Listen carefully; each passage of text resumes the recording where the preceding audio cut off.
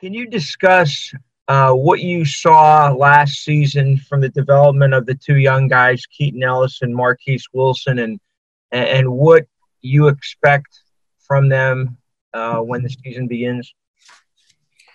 Yeah, with uh, Keaton and Marquise, you know, obviously they played a lot of football for us as true freshmen. Uh, their development throughout the season, uh, they just continue to get better and better. Um, you know, obviously, you know, in the bowl game, Marquise had a, a critical interception late in the game uh, that helped us, you know, in that game.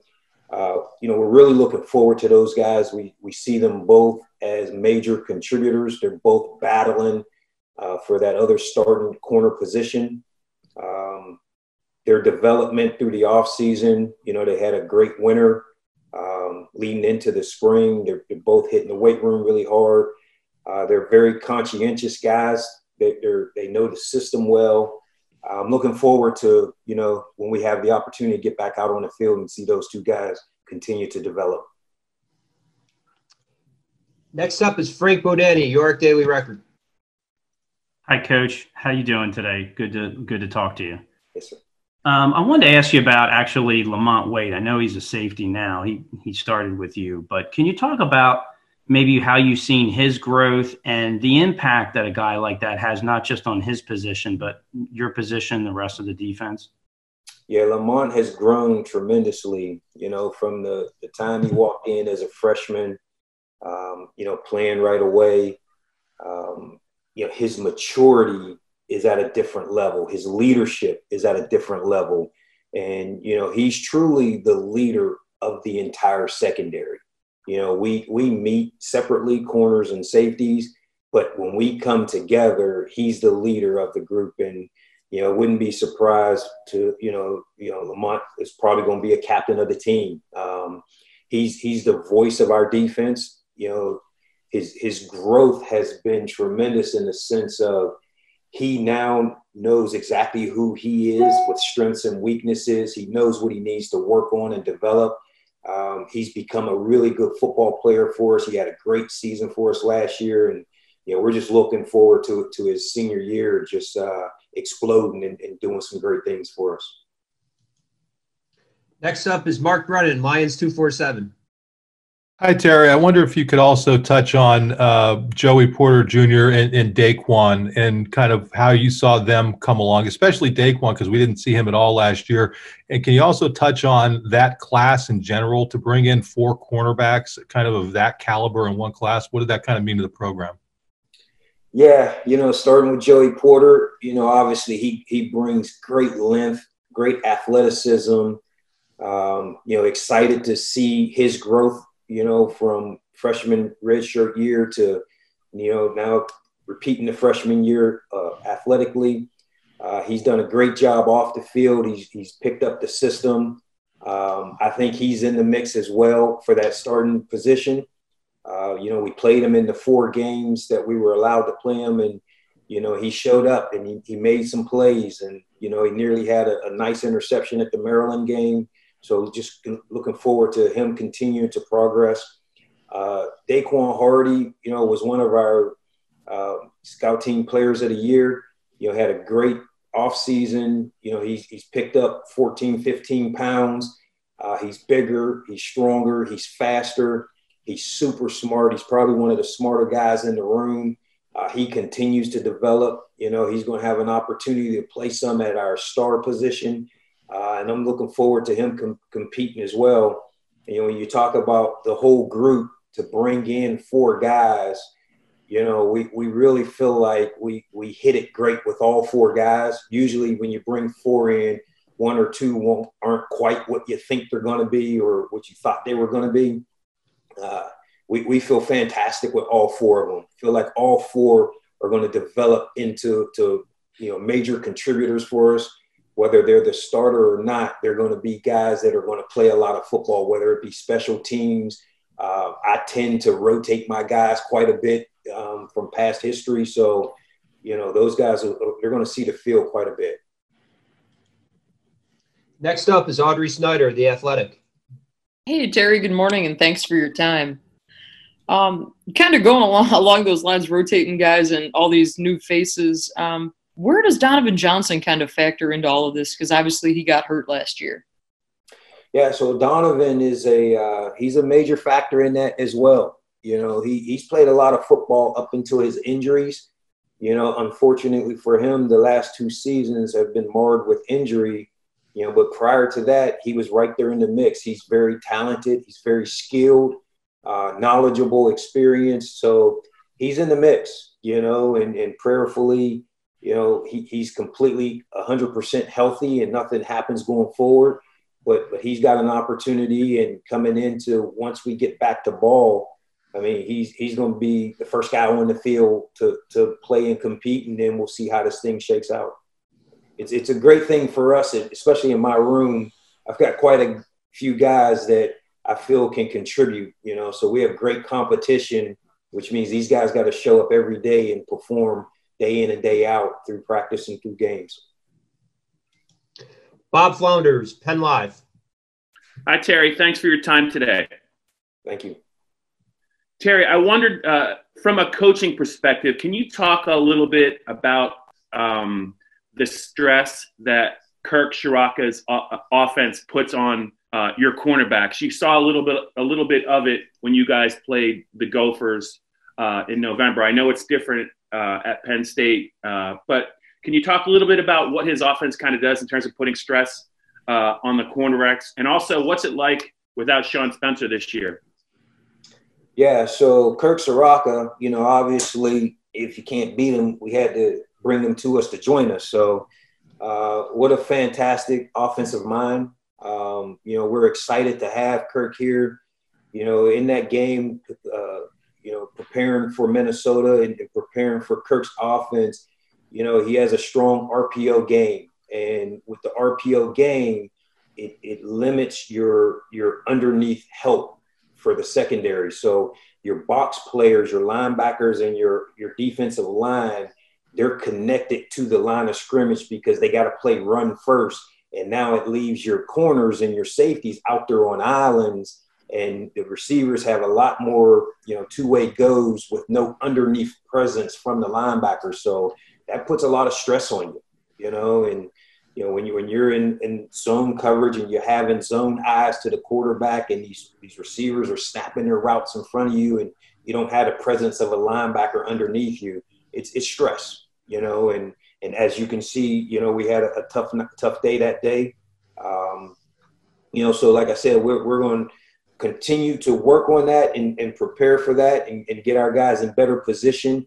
Uh, when you play the RPO game, it, it's more like playing like Army West Point. It's it's it's option football. It's you you have to play your responsibility and you can't get caught peeking another direction. Otherwise, they're going to make you pay for that thing. So, you know, your, to answer your second question, uh, Coach Spencer. You know, obviously, Coach Spencer is a great personality. Uh, he was the life of our, our defensive staff and our defensive unit, and you know we miss him dearly. Uh, he had a tremendous opportunity with the Giants to progress his career, so we're really, really happy for him. Uh, we brought in a guy, you know, John Scott, who we feel that we won't miss a beat. You know, John has NFL experience. He's coming from the SEC. He's bringing a different type of flavor and energy that, that we've welcomed and the, the players have welcomed. And we're excited about the opportunity for him to take us to, to new heights and to, you know, make us a better defense.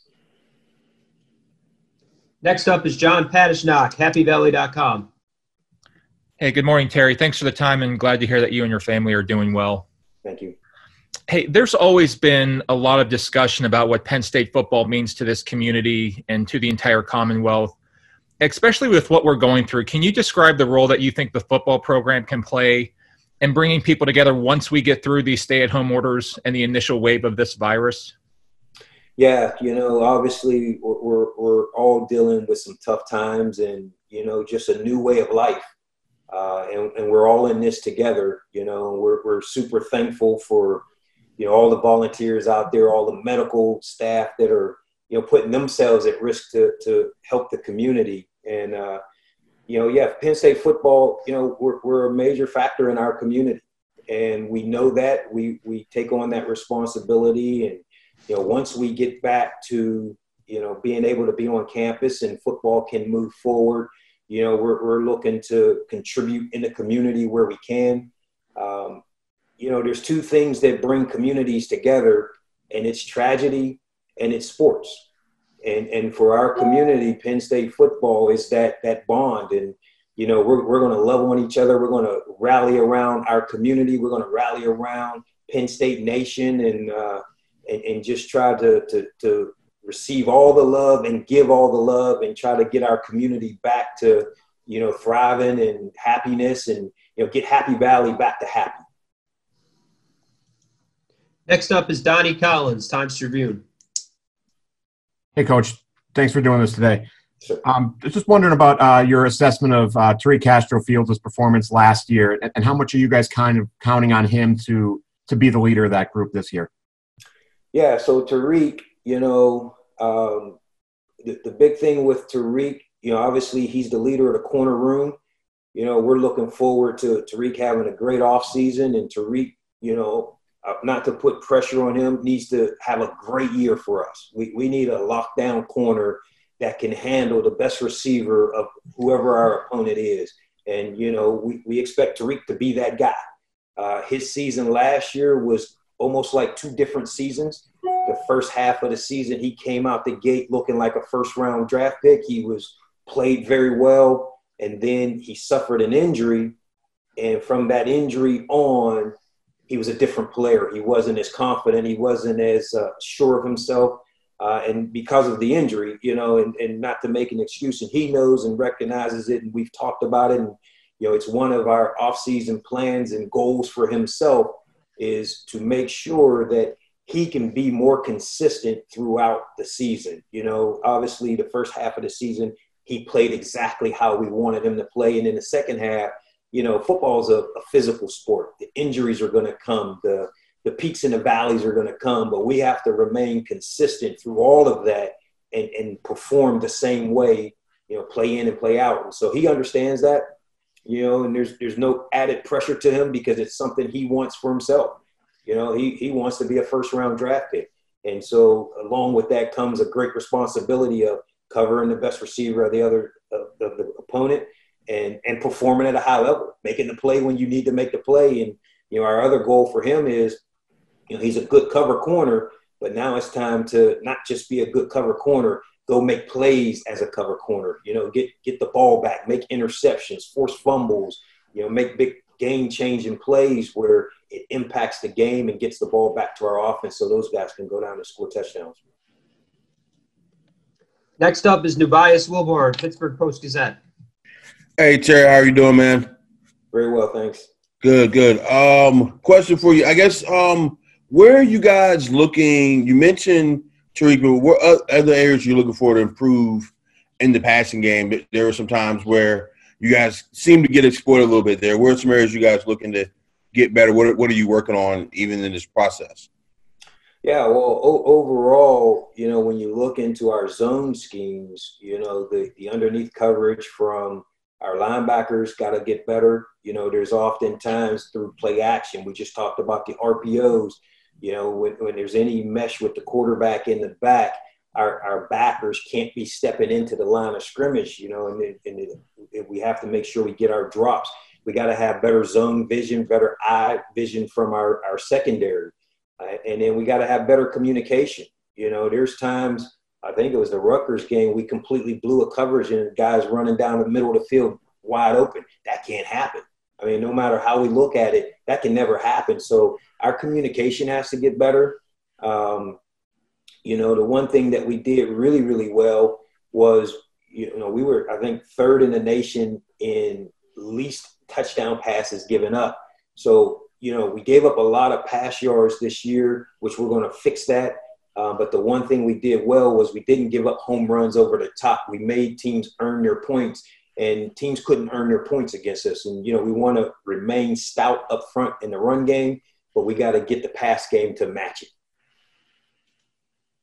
Next up is Greg Pickle, Penn Live. Hey, good morning, Coach. I was just curious if you could assess where you think you guys are from a recruiting standpoint. You've had a nice little run here that could continue, but based on where you normally would be, under, of course, normal circumstances at this time of year heading into the blue white game uh, in a hypothetical sense compared to past years? How would you just assess how things have gone so far and what the outlook is for the class of 2021 here moving forward? Yeah, I think we're doing a fantastic job right now. You know, we're, we're really happy where we are. You know, we've, we've gotten some good commits here in the last week. We're, we're anticipating maybe a couple more coming up here.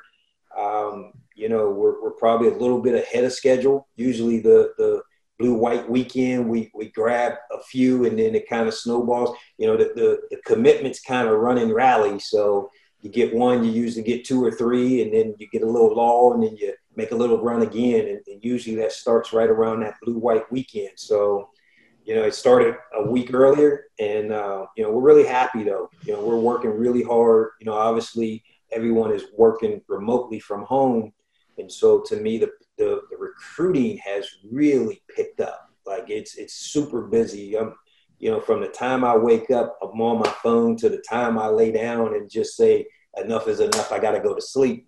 Uh, you're just constantly recruiting and communicating with prospects, and you know, and it's been great. You know, there's there's a lot of great prospects out there interested in Penn State, and you know, this year is going to be a smaller class. You know, last year we took a huge class. And and so you know you're going to cut almost 10 guys difference from last year's class to this year's class. So we got to be a little bit more particular to what we want. And um, but it's been great. You know we're, we're doing a, a, really good job on offense defense and you know we got a couple special teams guys that we're, we're looking for as well. Tyler Donohue lions 247 good morning terry thank you for your time thanks um, we talked a lot about the young cornerbacks. One guy who's leaving, who spent a lot of time playing for you, is John Reid. We're coming up on the NFL draft here in a couple weeks. He, he seemed to really do well for himself out in Indianapolis. Didn't have the pro day like everybody else. You get a call right now from an NFL front office executive, and they say, "Why are we taking John Reid in the NFL draft?" What, what's your answer? My answer is John Reid has the best feet in the draft of any corner out there. Um, John Reid is smarter than anybody out there. John Reid's going to work extremely hard. Um, you know, he has an engineering degree.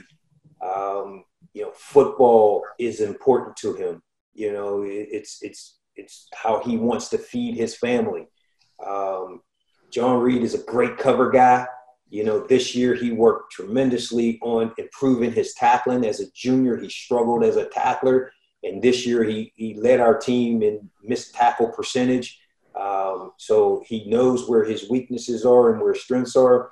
And, you know, John's projected to be a nickel in the, in the NFL.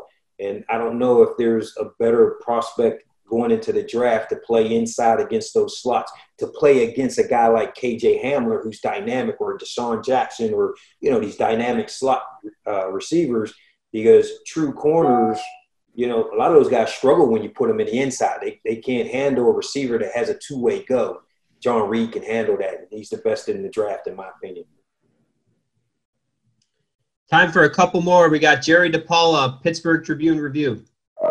Uh, good morning, Terry. Uh, glad to hear you're doing. You and your family are doing well. Thanks, Jerry. I was just wondering, Terry, if you miss the excitement of uh, coaching on Friday nights, and number two is um, what's the big difference between connecting to high school kids as compared to connecting with college kids? So Friday nights, um, you know, obviously it's a different feel. You know, when, when you're a high school coach, that community feel of, of the community around you where you grew up and the kids or the families are all right there. Uh, yeah, I miss that. It's it's a great family feeling. Um, you know, when you when you're talking about uh, the difference in connecting to college kids versus high school kids. The high school kids, you know, the majority of your team in high school isn't going to go play college football. The majority of those guys are, are playing because their buddies playing, because the community's strong and it supports them, you know, for a, a various amount of reasons.